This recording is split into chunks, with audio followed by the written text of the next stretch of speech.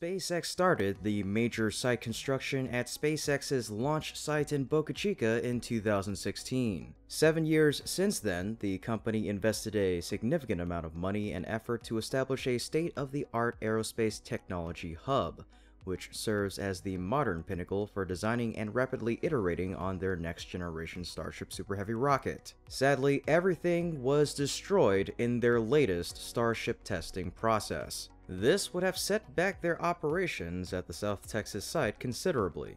The pad damage is definitely more serious than even SpaceX or I and you would ever thought. Let's have a closer analysis at this in today's episode of Great SpaceX. SpaceX's Starship took its maiden voyage last week, successfully lifting off its launch pad and nearly making it to stage separation. However, while Starship took to the skies on its maiden flight, the slow build of power started to devastate the launch pad, or Stage Zero as SpaceX refers to it.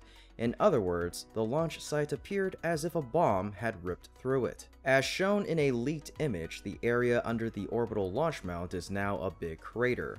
Part of the OLM structure is gone, leaving only the rebar to stand. The area around the OLM is now dirt, where concrete once stood. All that's left of the concrete lateral support beam is the rebar. Hopefully this didn't gronk the launch mount, Musk admitted recently. The OLM piping received exterior damage from the pressure waves, concrete, and heat blasts. Additionally, some of the shieldings on the stairs and other parts are no longer in place.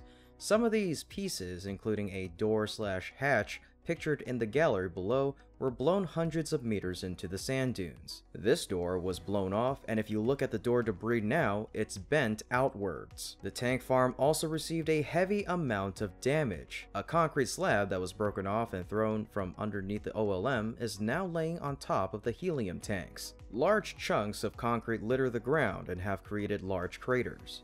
Taking a look at this, indeed it's like a piece of cheese with holes in it. Swiss.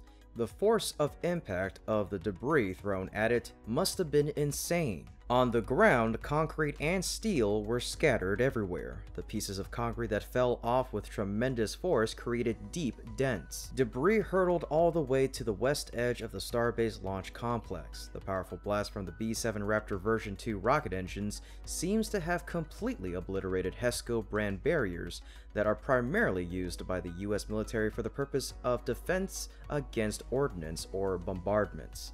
The Gulf of Mexico also received some concrete. In a video posted by SpaceX, the Gulf appears to showcase many splashes as concrete gets hurled hundreds of meters out when liftoff finally occurred. The fishies definitely thought the world was ending. The video posted online by Lab Padre also documented the trail of destruction caused by the initial launch. In the video captured by one of Balderas' cameras, thick smoke can be seen engulfing the area around the launch site. Debris can be seen flying off in all directions, resulting in significant damage to a nearby van.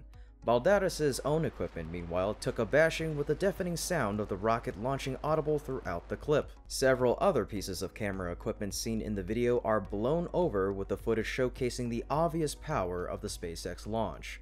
For around 90 seconds, smoke and dust filled the frame, pushing everything back before finally the sky reappeared again. Ground crews will now scour the area in search of possible damage to the launch and catch tower and surrounding infrastructure, such as the nearby tank farm. Thankfully, SpaceX's Starhopper, a test vehicle used in the development of Starship, appears to have survived the launch, with the retired Starhopper continuing to stand right next to the launch pad. I guess it's safe to say that Starship may have caused more damage than anyone could have expected. On Twitter, Elon mentioned that there was work being done on a water-cooled steel plate, which would be placed under the OLM, but was not able to be completed in time.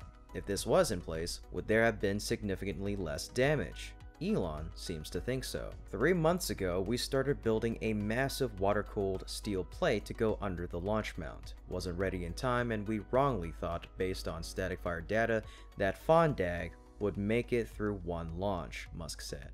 The force of the engines when they throttled up may have shattered the concrete rather than simply eroding it. The engines were only at half thrust for the static fire test, Musk added. SpaceX did not build the launch pad at Starbase with a flame trench or flame diverter, which are design features common to other heavy lift launch pads. Those structures are designed to direct the blast energy and hot engine exhaust away from sensitive equipment around the launch site, reducing the risk of damage. There was also no water deluge system at the launch pad for the test flight Thursday, other launch pads, including SpaceX's Falcon 9 launch facilities in Florida and California, use water to dampen acoustic energy during liftoff. Olivier de Weck, a professor of astronautics and engineering at MIT, shared that the radius of debris and disturbance was probably bigger than anybody anticipated.